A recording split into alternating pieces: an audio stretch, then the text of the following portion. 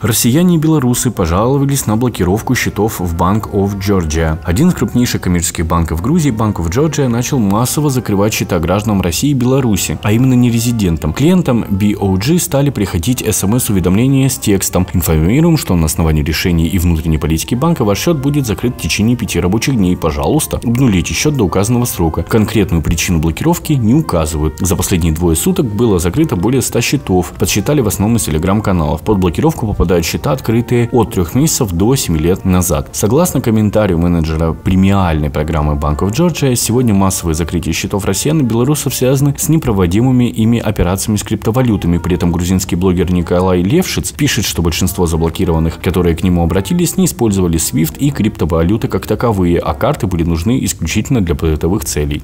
Если вам понравился подкаст, ставьте лайк, подписывайтесь на канал, додавите на колокол, чтобы не пропустить выход новых видео и подкастов, и поддерживайте канал рублем. Все ссылки в описании. Спасибо